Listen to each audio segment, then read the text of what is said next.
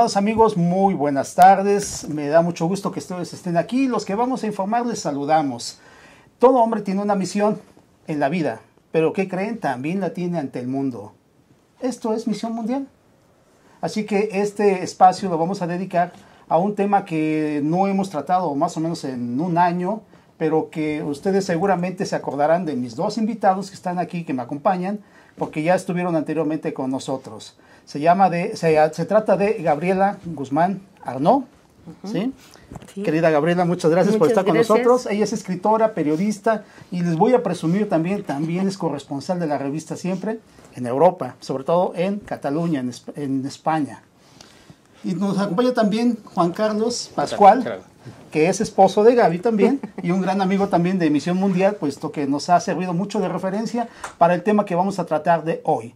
¿Cuál es el tema que vamos a tratar? Pues sencillamente el rescate, el centenario del rescate de los sobrevivientes de Clipperton, la isla de Clipperton, allá en el, en el Océano Pacífico. México tenía hace, hace mucho tiempo, hace casi un siglo, eh, una isla de la cual se ha descuidado mucho también y actualmente se ha tratado de buscar esa reivindicación de esa pequeña isla, ese pequeño reducto que México tenía en el Pacífico y que mostraba de alguna forma que México estaba eh, presente también en esa parte de, de, del continente asiático. Eh, Gaby nos va a platicar un poco sobre esto, sobre en qué se quedó todo, en qué hay reivindicación, qué dice Francia con respecto a, al protectorado que dice él que tiene desde el 31, un poco medio, medio rebuscado, medio eh, hecho a la, a, la, a, la, a, la, francesa también, porque muchas cosas que se hacen a la francesa también tienen, son intencionales, tienen muchas intenciones de vigilar sus propios intereses y de pasar por encima de los demás. Digámoslo, eso, eso es cierto, amigos galos, franceses, como también lo han sido de todas las potencias colonizadoras. Gaby, entramos en contexto, platícanos un poco qué cosa es lo de la isla de Clipperton, la isla de la pasión, l'île de la pasión, como dicen los franceses. y platícanos, tú también tienes un poco de, de, ascendencia francesa, francesa por tu papá, ¿verdad? Platícanos. Por, no, es por la parte materna. Ah, materna. Sí, okay. sí, es la, la, familia de mi bisabuelo, sí. el capitán Ramón Arnaud Viñón. Viñón. Uh -huh. eh, y que pues era el capitán que estaba en la isla de Clipperton, uh -huh. pero ahora, para ponerlos en contexto, como dices tú, eh, les hablaré un poquito, un resumen rápido de lo que es la isla y qué pasó ahí. Uh -huh. Entonces, la isla de Clipperton es una, un pequeño atolón eh, que está a más o menos mil kilómetros en línea directa desde Acapulco, en el Océano Pacífico. Esa isla perteneció a México desde su descubrimiento en el año 1500 uh -huh. hasta 1932, cuando por un laudo bastante malo, uh -huh. equivocado. Eh, Mañoso, sí, se, la verdad. Se le, se le se dio, bueno, se, Francia se lo quedó. Uh -huh. ¿Sí? Tal como debe ser, ¿no? Entonces, Hay que decirlo. Así es. Entonces, eh, ¿qué pasó para que actualmente es, este atolón pertenezca a Francia? Pues resulta que en los años 1900 más o menos empezamos con un, una situación de que los países europeos uh -huh. requerían un producto llamado guano. Uh -huh. Eh, sí. Y aquí, a lo mejor de manera muy rápida, Juan Carlos nos podría explicar ese tema, porque él lo, lo conoce muy bien. ¿Qué muy es bien. el guano? ¿Por qué los países europeos lo querían en ese momento? Okay. Etcétera. Uh -huh. Así como que muy rapidito que nos cuente. Sí, ¿Qué importancia tenía el guano? Sí, el guano eh, era como la parte del petróleo actualmente. Uh -huh. El guano sirve para, en esa época, para fertilizar los campos. Los campos okay. europeos estaban ya muy degradados, los campos americanos empezaban a estar degradados y hubo un movimiento eh, empujado por Humboldt, que fue el que descubrió el uso del guano en Perú, uh -huh. a eh, buscar islas que tuvieran guano para explotar el guano. Estados Unidos crea incluso una eh, acta que se llama The, Act, The Guano Act, uh -huh. en el cual le dice a los ciudadanos americanos que si se encuentran una isla la, de, la, la tomen para Estados Unidos. Uh -huh. Francia manda también este, a buscar qué, islas están por ahí. A sondear por allá. Francia siempre ha llegado tarde a toda la parte americana, siempre es el último en llegar, pero es el que busca lo, que se puede encontrar, ¿no? Entonces, el que arrebata. El que arrebata al final, lo que dejaron, ¿no? Estados Unidos eh, llega primero a Clipperton, empieza a explotarlo, eh, Porfirio Díaz manda un destacamento, que aquí ya hablará eh, de, la parte, con Gaby, este, de esta parte, y Francia reclama que dice que también era, era de ellos por una cuestión histórica mal hecha, ¿no? que si hay tiempo te lo, te lo platicamos. Y este, en esta disputa, eh, desgraciadamente entra la Revolución Mexicana y eh, la isla queda abandonada y hasta mil, de 1910, que es cuando se presentan los documentos en que México dice es, mexicana, eh, hasta 1930, al inicio de la Segunda Guerra Mundial, con, con, Mussolini, Mussolini simple y sencillamente la regala a Francia, ¿no? Y Francia dice, ah, pues este, es nuestra. Desgraciadamente el, Senado mexicano eh, recibe ese, ese laudo y solo un, un, senador por Tamaulipas eh, dice que no, que hay que reclamarla. El resto dice, bueno, pues no sirve para nada. ¿sí? Esta actitud que luego tenemos de, ay, si no sirve, pues ¿para qué le peleamos? ¿no? Y este, pues que se la quede. y la quitan de la Constitución mexicana. Esto es lo que eh, pasa. Gaby, por favor. este tema del no sirve para nada la isla, pues eh, fue algo totalmente absurdo porque la isla era una isla muy valiosa y actualmente sigue siendo una isla muy valiosa. De hecho, por eso los franceses la sobreprotegen porque eh, conocen el, valor de la isla. ¿no? Simplemente a Francia le da el doble de su territorio. ¿Sí? En cuanto a lo que le da el mar territorial. Sí, por las millas náuticas, Exactamente. Esto lo que, lo que hace es que Francia sea el doble de tamaño de lo que Francia es, ¿no? Eh, por ahí empezando, pero luego lo que tiene tanto en superficie como, eh, eh, submarino, submarino, es una riqueza muy importante que, bueno, ahora no tenemos tiempo de hablarlo con detalle, pero Juan Carlos tiene estudios sobre ese tema también, eh, de la riqueza que tiene esta isla. Estudios que hemos presentado en Relaciones Exteriores, en el Senado, etcétera, para hacerles notar la importancia de, pues que esa isla hay que pedirla, hay que rescatarla, ¿no? bueno, hasta ahora no, no hemos conseguido mucho, ¿eh? pero bueno, eh, el tema es que, eh, te decía yo, en 1900 ante esta situación del guano y que los países se la disputaban y todo esto, Porfirio Díaz, el presidente de ese momento, decide enviar un destacamento de militares que vayan a esta pequeña isla a protegerla a protegerla pues de todos eh, estos países que, llegaban y que explotaban el guano sin permiso de México y para su beneficio, lógicamente. Entonces envían a este destacamento eh, a, el capitán o el, jefe del destacamento era mi bisabuelo, eh, como ya dije, el capitán Ramón Arnoviñón, que curiosamente era hijo, hijo de franceses, él nacido en México, pero bueno, pues sus descendientes eran, eran franceses y por eso lo nombran. Una de las razones principales es que conocía el idioma inglés, conocía el idioma francés, eh, era militar, bueno, tenía varias cosas a su favor que le permitía, pues, eh, precisamente estar de una manera idónea en, ese, en aquel lugar. Lo mandan con eh, con su con, no solamente a él, sino a todo el destacamento, con todas sus familias. ¿Por qué? Porque tenemos en, en, la, en el derecho internacional, sabemos que si hay gente, pobladores de un país que además ahí nazcan y mueran ciudadanos de ese país, ese, ese territorio pertenece al país que, que ha hecho pues ese, esa habitación, ¿no?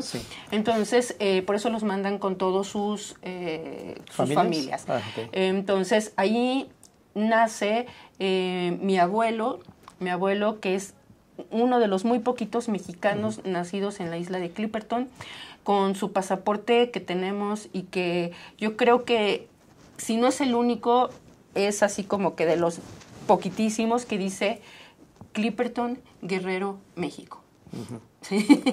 Entonces es, es, un, es muy, muy importante ese pasaporte porque lo que está mostrando es que esa isla pertenecía a México y que ahí nació por lo menos una persona, bueno, nacieron más, pero por lo menos él estaba registrado y, tenía ese pasaporte. Bueno, eh, nacen también otros niños, hijos de los soldados, del sargento, etcétera, etcétera, eh, y se hace pues una muy pequeña colonia cada tres meses aproximadamente un barco mexicano les llevaba todos los víveres eh, que eran necesarios porque ciertamente la isla, como te dije, es riquísima en, en, pesca, ¿no? Hay una gran cantidad de animales marinos eh, que, puedes pescar para comer y para alimentarte. Sin embargo, es una isla que no tiene tierra. Eh, como es el cráter de un volcán, entonces lo único que hay alrededor de ella es eh, arena. Adentro, que es el cráter del volcán, es una laguna llena de agua, pero que está insalubre porque precisamente tiene todos los componentes. Ácido, ¿no? Sí, todos los componentes químicos que de, la, del volcán, ¿no? Entonces es agua que no se puede beber, que bueno, que no sirve para nada. Es tóxica. Exactamente. No se puede cultivar, por tanto, nada mm, en la igual isla. también, sí. Lo único que existe son unas cuantas palmeras que precisamente llevó mi bisabuelo y que pues eh, dieron unos cocos. Sí, cocos que, que, ahora vamos a ver que fueron importantes. Bueno, el caso es que eh, están ahí, están bien, están haciendo su trabajo, etcétera, etcétera. Pero como ya dijo Juan Carlos, eh, viene la Revolución Mexicana. Lógicamente empezamos con todo el tema en México de los eh, presidentes que se empiezan a suceder unos a otros, los conflictos que hay entre mexicanos este, carrancistas y no carrancistas, etcétera. La historia de México que ya que, conocemos. Esto lo que ocasiona es que lógicamente consciente o inconscientemente pues las autoridades mexicanas olvidan el asunto de que en Clipperton hay un, grupo de soldados que están precisamente para defender a México de pues esas invasiones este de otros países. De ultramar, ¿no? Sí, claro. Eh, esto ocasiona que pues el barco deja de el barco mexicano deja de, ir a, llevar provisiones, ¿sí? Y en, en, Clipperton, lógicamente, pues tú te imaginas, es una época en que no hay ningún tipo de comunicación, no como actualmente que contamos con muchos medios de comunicarnos, ¿no? Allá pues lo único que esperaban era el barco y si el barco no llegaba pues no había manera de, moverse y poder este pues pedir auxilio o lo que fuera, ¿no?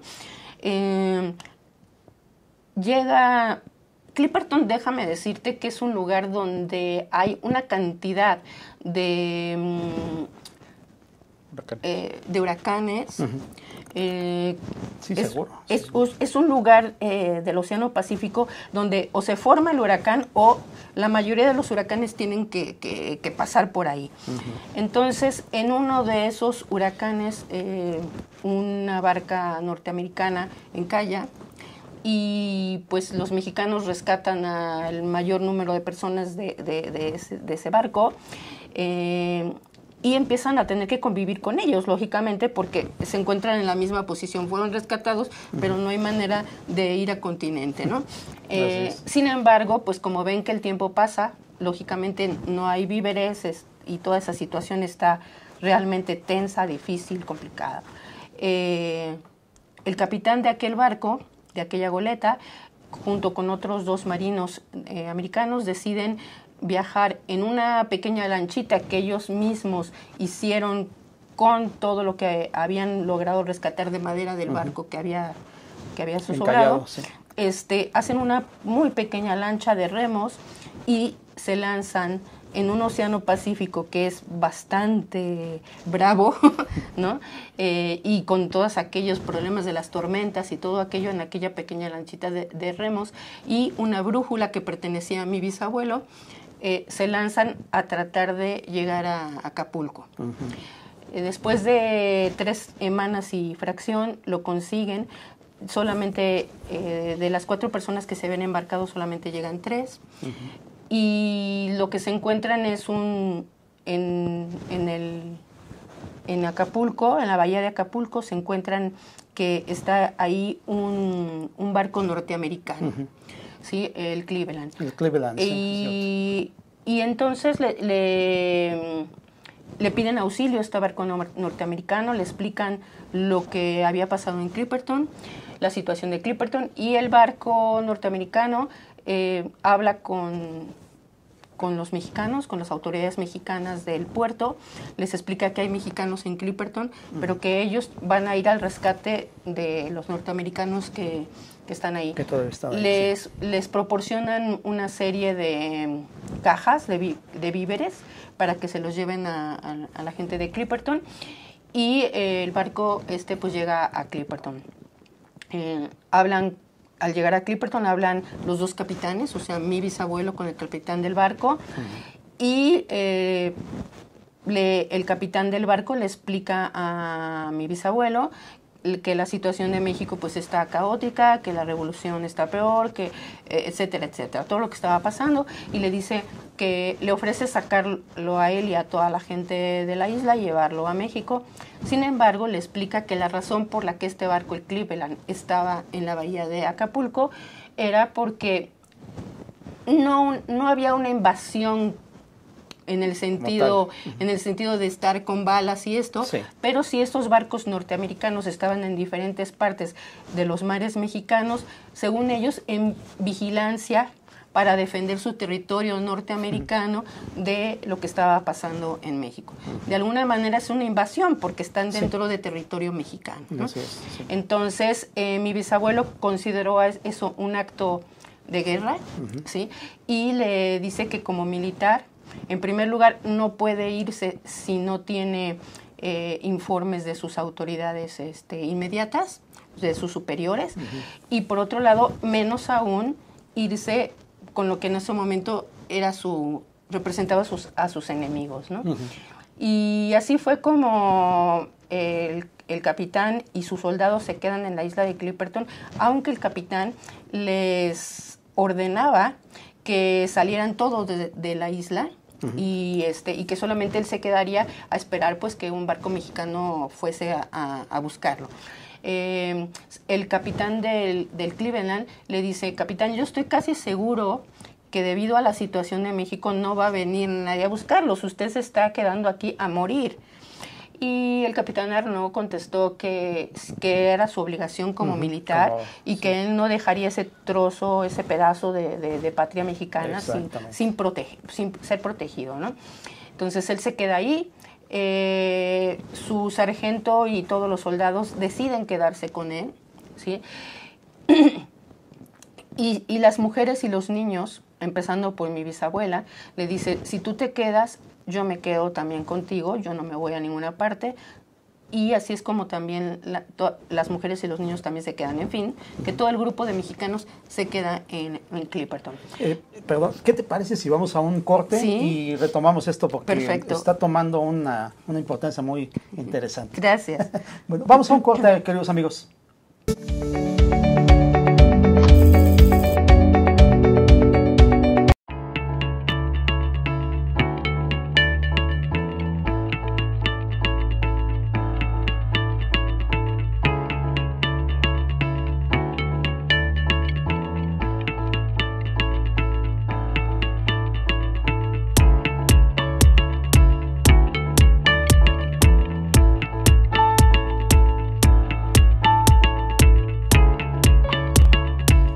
Seguros que construyendo a través de la gente podremos trabajar y sobre todo contribuir en los resultados de su negocio.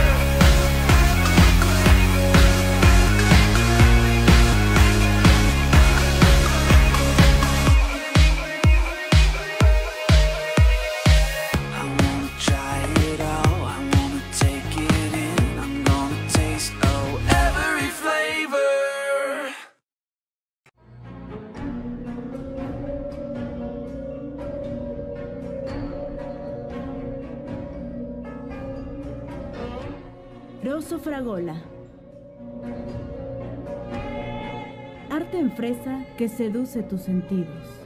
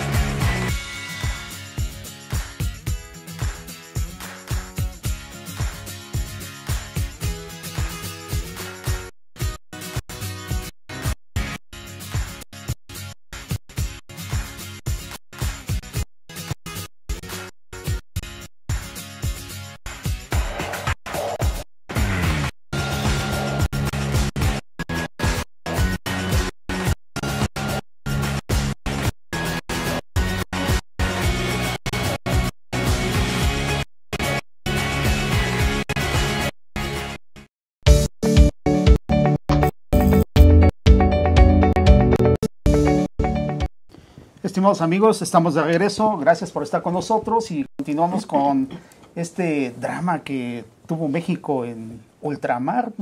¿Quién se hubiera esperado de esto, no? Que es eh, parte de la historia de, de, México. Yo no sé si esto está establecido dentro de los libros de, de, historia, pero creo que debería ser. Eres hija, descendiente directa de unos héroes. Ellos son también héroes. Ya me, me, gustaría mucho un día, ojalá se pudiera entrevistar a, a la hermana, a la, a la, a la mamá, a la, al, no sé, al, al ¿A quién será? No sé, a la sobrina, a la sobrina de Juan Barrera, no sé, una cosa así, de, no sé, alguno de los niños héroes, algo, algo así, pero pues, por primera vez tengo aquí a un descendiente de un héroe aquí mexicano, que yo creo que sí debería estar reflejado dentro de nuestra historia. Pero bueno, platícanos un poquito, entonces ya estás por terminarnos la, la historia. Ahora, como esto, eh, en este año se conmemora precisamente el centenario y, tú, ustedes van a hacer un, un, evento que ya nos platicarás un poquito después de qué se trata para conmemorar este, este acto.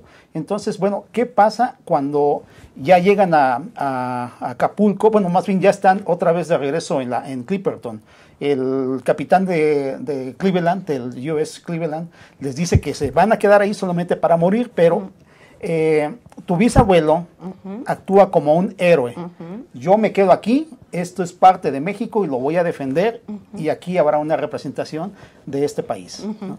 Entonces, ahí nos quedamos y a partir de ese heroísmo, platícanos qué sigue. Bueno, pues lo que sigue es que pasa año y medio, más o menos, sin que ningún barco se presente en Clipperton, de ningún tipo. Lógicamente, empiezan a morir eh, debido a una enfermedad que se llama el escorbuto. Uh -huh, sí. El escorbuto es la falta de vitamina C, que uh -huh. como te digo, como no tenían el pescado para comer, pero no tenían eh, no tenían frutas, verduras, todas esas cosas. Sí, Entonces falta? Hace falta la vitamina C claro. y se empieza a presentar la enfermedad del escorbuto, principalmente en los hombres. ¿Por qué? ¿Te acuerdas de aquellos cocos que te dije que te iba a explicar por qué eran importantes? Bueno, pues había unos cuantos árboles de cocos y unos cuantos cocos, pero no alcanzaban uh -huh. para para todos los habitantes de la isla. Entonces los racionaban sí. y principalmente se los daban a las mujeres y a los niños. Ajá. Los hombres tomaban poco, por lo cual mucho más rápido eh, adquirían la, la enfermedad. ¿sí? Uh -huh. Entonces, eh, ya estamos hablando más o menos del año 1915, cuando ya solamente quedaban eh, cuatro hombres, incluyendo a mi bisabuelo, uh -huh. y las mujeres y los niños, eh, ven a lo lejos un, un barco que, que, va atravesando la isla, pero bastante lejos.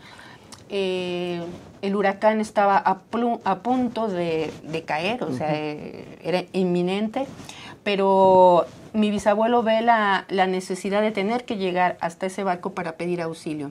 Entonces, nuevamente en una lanchita insuficiente pequeña que tenían de remos, él y el sargento y otro hombre eh, se embarcan, eran los, los hombres que quedaban y el que cuidaba el faro, eh, se embarcan para tratar de llegar al, a, aquel barco que no les hacía caso con las señas que ellos hacían. Es que es difícil, ¿no? Son distancias enormes. Sí, sí. El caso es que, que bueno, pues mi bisabuela a, través de, de, unos, ¿cómo se llaman? De unos binoculares. binoculares, eh, los está mirando y se da cuenta que llegan al barco, suben al barco, pero no han pasado ni cinco minutos cuando regresan a, la lancha y empiezan a remar nuevamente hacia, de regreso. hacia la isla y aquel barco se va. Con lo cual, pues ella siente una profunda tristeza porque se da cuenta que no los van a rescatar, y aquel barco no, por alguna razón, no los atendió. Y jamás lo sabrán. Jamás sabrán por qué no los atendió, porque en ese viaje de regreso esos tres hombres mueren. Eh, volcados seguramente por una, una gran ola, que te digo, son olas gigantes las que ahí hay, además de que la isla está rodeada por un grupo de rompientes que son, hacen muy difícil el acceso a la isla, pero además tenemos el huracán, mi abuelo, que era un niño pequeñito, pues en su mente se quedó con la idea de que fue una mantarraya la que volcó la, lancha. Sin embargo, pues eh, actualmente gente conocedora del tema nos dicen que una mantarraya no pudo haberlo hecho. Seguramente fue una gran ola, ¿no? Pero los, los volteó y pues nunca más se volvió a, saber de, ellos, ¿no? Ellos. ellos ahí murieron y pues ahí descansa, ¿no? Eh, lógicamente, eh, mi bisabuela, pues em, entenderás que, que, se queda con aquel gran pesar de haber perdido a, su esposo, eh, de quedarse sola a cargo de, ese, de esas otras mujeres. La otra también era esposa de, de uno de los hombres que, que, del sargento. En fin, que, que se, se encuentran de repente que están cuatro mujeres solas, con un grupo de niños y de niñas, ¿no? Eh, y ante aquella situación, ¿no? Una situación muy, muy, verdaderamente muy difícil, ¿no? El caso es que ante el huracán no les queda otra más que refugiarse del huracán. Mi bisabuela estaba embarazada de su cuarto hijo. Eh, y bueno, pues se refugian a que normalmente tres, cuatro días tienen que estar casi bajo trincheras porque la isla es muy plana entonces no hay manera de refugiarse de aquellos ventiscas y de todo aquello, sino es pues meterse bajo tierra, ¿no? Pasan los días, cuando por fin el, huracán pasa, pues ellas salen y se encuentran en aquella situación de, pues, de soledad, ¿no? Ella después de unos días da a luz a este cuarto hijo, la esposa del sargento también está embarazada, después de unos meses también tiene ahí a, su niña. Y ellos, ellas olvidaron por un momento dado que en el faro había un hombre, el hombre que cuidaba del faro. Al principio ellas piensan que este hombre las iba a ayudar cuando se dan cuenta que está vivo y que está ahí y que se les se aparece, ¿no? Porque eh, había estado en el faro porque él también estaba enfermo. Entonces ellas se dedican a cuidarlo eh, con el objetivo de que luego pues él, él es, sea el hombre que las cuide. Eso el esfuerzo, ¿no? Sin embargo, este hombre pues eh, de una manera bonita yo diría que se volvió loco, pero no sé realmente qué pasó, pero este hombre pues se, eh, se, volvió loco y empezó a querer sentirse pues el dueño de todo en la isla, incluyendo lógicamente de las mujeres, excepto de mi bisabuela, a la cual siempre respetó. Eh, sin embargo, después de, un tiempo, bastante tiempo, un año y fracción, el, hombre pues también quiso este, que, ella este, le perteneciera. Y entonces en ese momento pues eh, se armaron de valor ella y las otras mujeres y que una de ellas era su asistente y la esposa del sargento. Y entonces eh, pues en un, en un acto de valentía, por, yo lo creo de valentía, pues decidieron terminar con su vida. Eh, ya el que le interese cómo los detalles, bueno, pues este yo tengo un libro del cual no he hablado, pero tengo, tengo un libro que donde pueden encontrar toda la toda la historia, tanto la humana como toda la historia de México y la historia internacional y, y todo lo que tiene que ver alrededor de esto. Bueno, el Clipperton, digo, el libro se llama Clipperton, una historia de honor y gloria, y pues que está en las principales eh, librerías, ¿no? Bueno, pues el caso es que, que ante aquella situación, justamente en el momento en que ellas están matando a este hombre, aparece en el horizonte un, un barco nuevamente un barco norteamericano, el Yorktown, que además era el barco insignia de la Marina norteamericana. Este barco que hacía ahí estaba buscando submarinos alemanes. Estamos ante la Primera Guerra Mundial. Entonces México era en ese momento muy aliado de los, de los alemanes, con lo cual Estados Unidos eh, tenía el temor de que México en sus islas eh, pudiera esconder a alemanes, principalmente a submarinos alemanes o barcos alemanes. Entonces, eh, los Estados Unidos estaban vigilando todas las islas mexicanas con este propósito y se encuentran en la isla de, de Clipperton que no encontraron alemanes. Lo que encontraron en la isla de Clipperton fue una tragedia, ¿no? Eh, la tragedia de aquellas mujeres con todo lo que les había pasado y aquel hombre al cual acababan de, matar, ¿no?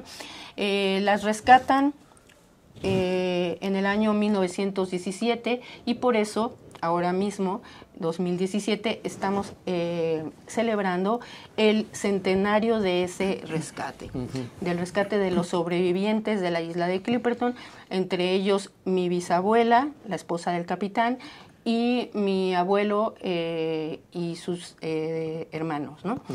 Eh, y aparte de, de, otros niños, otras, eran tres mujeres y niños en, en, general, ¿no? Fueron llevados a Salina Cruz por este barco y bueno, después este, sigue una historia bastante triste porque México nunca los reconoció, ni como héroes ni de ninguna otra forma, porque el gobierno revolucionario pues no los quiso reconocer porque dijo que ellos eran de, de Porfirio Díaz, ¿no? Cuando en realidad yo creo, yo defiendo que ellos lo que eran eran soldados mexicanos. Pues claro, por supuesto. Eh, independientemente de facciones ellos defendían a México como soldados mexicanos, ¿no? Pero bueno, México nunca, nunca les dio una pensión, nunca les reconoció absolutamente nada, razón por la cual tú decías, ¿por qué no está en los libros de historia? Pues precisamente por eso no está en los libros de historia, ¿no? Eh, porque no, nunca se ha reconocido. Nosotros eh, hemos formado el proyecto Clipperton precisamente para intentar reivindicar tanto el, honor de estos héroes mexicanos al cargo de mi bisabuelo, pero también de los otros hombres y también de las mujeres, incluso de los niños, porque mi abuelo eh, hace uno de los actos más hermosos para mí, que es que en el momento en que están siendo ellos rescatados, recuerda que la bandera mexicana estaba ondeando. En Clipperton siempre ondeó la bandera mexicana, aunque estuviera ya rota y lo que tú quieras, siempre, siempre se izaba. Entonces recuerda que está ahí y él, siendo un niño de 10 años, va a tratar de bajarla como puede y se la trae consigo a México para poder entregarla al presidente Carranza, al cual se la entrega. ¿Sí se la entregó? Se la entregó, pero eh, Carranza la desprecia.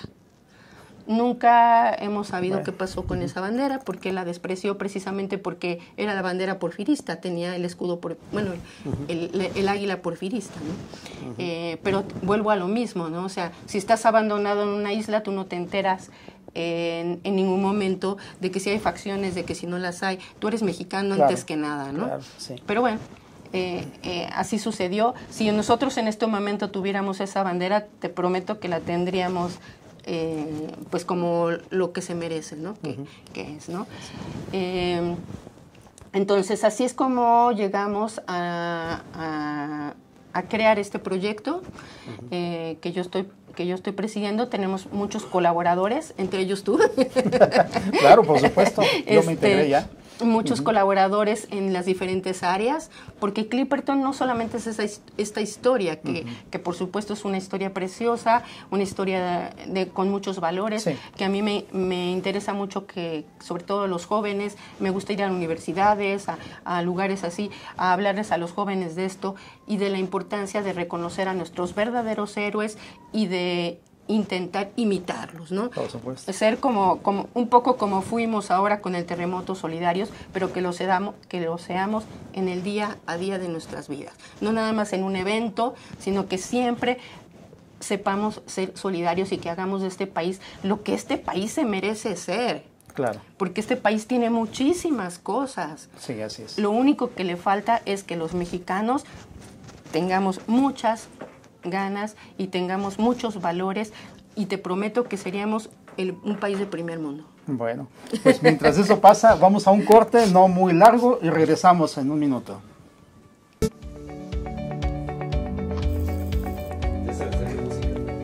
Ya. ¿Son los que siguen? Se te rompieron los pantalones.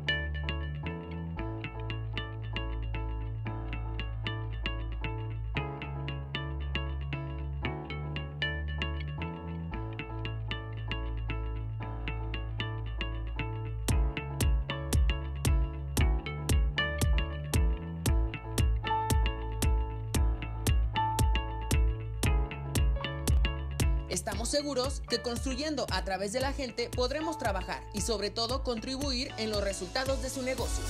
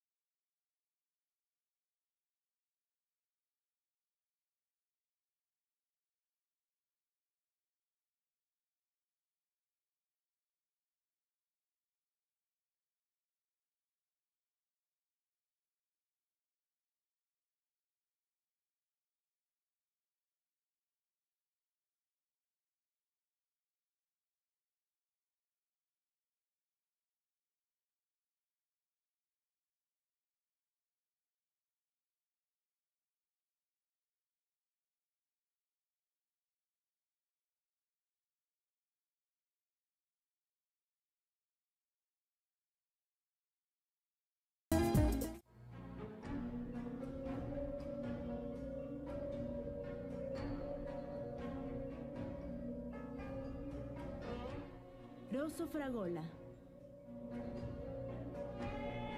Arte en fresa que seduce tus sentidos.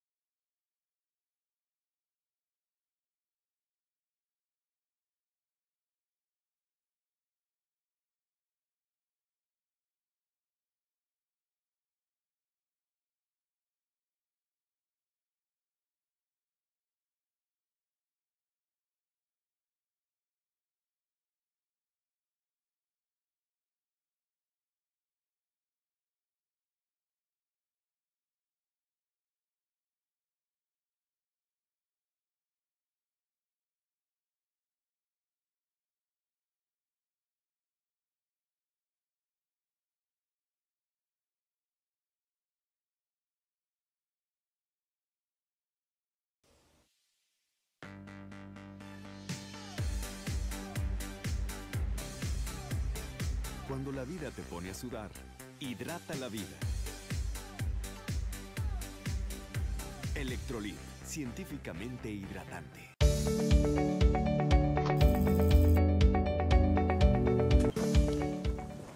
Estimados amigos, ya estamos de regreso. Bueno, pues hay dos puntos que yo quisiera pues aclarar porque la verdad me, me da tanta pena que que los libros de historia no se mencionen a estos héroes que estuvieron allá, tanto al, a tu bisabuelo, al sargento, a, a los soldados, todos ellos marcaron como una, una frontera de nuestro México querido que ya se desperdició por acciones que no se han tomado, pues no sé qué está haciendo entonces relaciones exteriores. Discúlpenme amigos, ustedes, yo tengo muy buenos amigos allá también con ustedes, pero si solamente la diplomacia, bueno, está bien, pero yo creo que debe hacer algo más en avanzada y con más actividad, más en ofensiva hacia eso, a recuperar nuestros territorios. Ya no se pueden, los del norte, no se, no se pudieron esos, pero este, creo que sí hay un, hay un parámetro para ello, ¿no? Eh, hay algunas versiones un poco raras en, en internet que dicen que pudo haber pactado eh, Porfirio Díaz un poco su salida a Francia para que eh, Francia lo recibiera. Y Clipperton tenía que ver algo, en- algo en esto. ¿Es cierto esto? De- Desgraciadamente vivimos en una época en que el Internet eh, permite que todo el mundo opinemos, ¿no?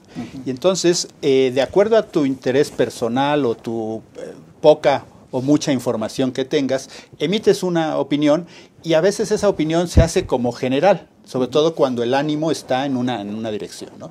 Porfirio Díaz, tengamos en cuenta que fue este, un, un parteaguas en la historia y por eso se, se generó la revolución.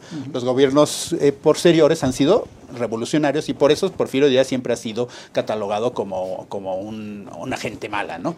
Eh, la realidad de, de- de esto es que el, el laudo que, que se genera eh, es porque Francia va y reclama que dice, ah, es que debía de haber sido mía porque yo la descubrí.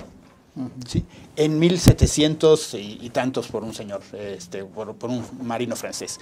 El cual, si tú te vas a, a los libros de historia, ves que ese barco fue enviado por Napoleón III, como te decía, siempre quedan al final. Sí. Entonces, ya tenían todo el Pacífico, este, Inglaterra, Estados Unidos, el- Portugal, España, Portugal, sí, España, y ellos no Ajá. encontraban qué. Entonces se encontraron en un, en, eh, en- en un mapa, pues que estaba la isla de Clipperton, y lo manda exclusivamente, ¿sí? este, nosotros hemos ido recolectando eh, mapas, y tenemos mapas de que en 1600 ya se, se sabía que era Clipperton, ¿no? Y entonces manda un barco, se pasa, no baja porque sabe que es, es difícil, la dibuja y se va a Hawái, en esa época las Islas Sandwich, y dice, la acabo de descubrir. Y ese es el documento que Francia dice, no era mía. Claro, cuando lo ve, este, cuando hacen la reclamación, Porfirio Díaz encarga a este, García Cubas, que es uno de los historiadores más grandes que ha tenido México de esa época, a que redacte un documento. Él redacta un documento de 28 páginas con todos los antecedentes de que la isla es mexicana. Y esto se presenta eh, eh, en 1909 en, en Europa y se nombra a Víctor Manuel III, el rey de Italia, como el que dé laudo. Entonces, él tiene que recibir los documentos mexicanos y el documento francés. Los documentos mexicanos son 28 páginas, planos, fechas, etcétera. El documento francés, pasé por ahí y la vi. Yo hago la broma de decir, bueno, sabes que voy a ir a Francia, veo la Torre Eiffel y digo, Ya la vista. ¿no? ya la vi, la descubrí, ¿no? Un poco así. Eh, es, eh, por eso no hay un 1911 o no hay una fecha en que digas, ay, Porfirio Díaz. No, es que esto estaba en, eh, en- en- en Europa en un laudo. Sí. ¿sí? Este laudo se hace hasta 1935, cuando Víctor Manuel III ya es un títere en la, en la historia y Mussolini es el que gobierna. Aparte, Víctor Manuel III era chaparrito. Entonces, están en esa época, en 1930, discutiendo Francia e Italia las posesiones de África. Algeria, Túnez, Somalia, y están dividiéndose qué para quién. ¿sí? Hay, un acuerdo que, es, este, que hace el, el- el ministro de Relaciones Exteriores de Francia con el, el ministro eh, de, de Relaciones de Italia, y en ese, en ese pacto, cosa curiosa, ¿no? justo en esa misma fecha, sale el acuerdo de cómo se divide uh, Francia y en la tercera página tenemos esa revista en donde está en la misma fecha el acuerdo y en la, y en la tercera página, Sí. ah, Francia acaba de obtener Clipperton y mandamos un barco. ¿sí? Entonces, eh, esto se llama vicio de origen. O sea, cuando hay un laudo que tú puedes con- comprobar que fue hecho con dolo, el laudo se invalida. Y este es nuestro punto de decir, ¿por qué México no pelea esa invalidez? O sea, nosotros con pocos, muy pocos recursos, tenemos las evidencias de que fue, de que fue válido. Pero, como dices, nuestros políticos no, no van y reclaman. Algo que se debería de reclamar. ¿no? Entonces, ahí se, ahí se perdió. De aquí para acá, Francia ha estado moviendo los hilos y ha cambiado la, la, situación de la isla de una situación militar, era una base militar, ahora la acaba de cambiar el año pasado, acaba de cambiarla este, en, el, en el Senado francés a una situación civil. Entonces, ¿y ¿por qué hicieron ese cambio? El cambio a, a situación civil es que ahora entonces rigen re, leyes civiles, pero como es un territorio inhabitado, piden que entre un barco militar para apoyar a lo civil. Y abajo dice, en, en, este, en, este, documento, dice que como es una zona civil, si se encuentra a alguien en las aguas territoriales, es sujeto de incautación, de una multa de, si mal no recuerdo, 300 mil euros y Uf, de cárcel. Enorme. Sí. O sea, por eso cambias el régimen. ¿no? Entonces, eh, pero el, el, hecho principal es que es totalmente defendible la, este, la isla eh, totalmente, hay pruebas gracias ahora a, las, a las tecnologías, tenemos mapas de 1600 en donde está, tenemos, este, o sea, todas las partes que, que se invalidan se pueden invalidar, ¿no? Sí. Pero necesitamos alguien que diga, oye, yo voy a pelear. Así como ahora en el Tratado de Libre Comercio alguien está diciendo, pues ya me paro y me voy, o sea, ya no se puede con, con Estados Unidos, ¿por qué no hay alguien que se, que se pare y diga, la isla de Clipperton es mexicana y vamos a reclamar. Sí, no, sí, sí, ese Pero bueno, pues. es, esta es la parte. Y esto es algo que, este, que vamos a, que eh, Gaby te va a platicar ahora, de, sí. de, por qué vamos a hacer este evento de cierre de, este, de los 100 años. ¿no? Pues adelante, Gaby, por favor, con, pues platícanos sí. esto. Bueno, pues eh, el día 29 de noviembre tenemos el evento eh, de el, centenar, en que celebramos el, este centenario del, del rescate de los uh -huh. sobrevivientes. Lo, Juan Carlos nos va a decir ahora la dirección. Los invito a todos, va a ser un, un evento festivo, realmente como una fiesta. Uh -huh. Van a estar todos nuestros colaboradores y toda la gente que quiera participar con nosotros. Eh, y va a ser pues realmente algo muy bonito en que vamos a hablar de todos estos temas eh, y que vamos a, todos van a participar, ¿no? Va, uh -huh. va, a ser algo muy, muy padre. Juan Carlos, este, ¿nos dices la dirección? Sí, ese, este miércoles 29 de noviembre a las 18 horas, a las okay. 6 de la tarde, en el Centro Cultural en el Elena Garro. Elena Garro. Okay. Esto es en la calle de Fernández Leal 43, en Coyoacán. Coyoacán, perfecto. Uh -huh. Coyoacán. Uh -huh. Bueno, pues entonces, eh, eh, mensaje final de un minuto. Pues nada, que vayan, que participen, que uh -huh. seguramente les va a gustar muchísimo a, a todos eh, conocer de, de, toda esta historia sí. y que bueno, pues que los esperamos por ahí, que saludarlos personalmente a tus televidentes. Y va a estar el libro sí. en, en, venta, ¿eh? bueno, para además de todo eso. bueno, pues a mí se me hubiera gustado mucho tener esa, esa bandera que es eh, el, la, el, de un enclave importantísimo de México. Francia sí tiene una, una bandera nuestra allá. Sí. bueno, ni modo. Eh, muchas gracias, amigos. Nos despedimos con mi B-panel aquí. Gabriela Guzmán Arnaud, Juan Pablo, Juan Carlos, Pascual. Ay, es que luego pasan. Sí, sí. ya se estaba queriendo decirlo en francés. No, no está bien. Sí, sí. Bueno, pues nos vamos y me despido como siempre les digo. Salve audiencia.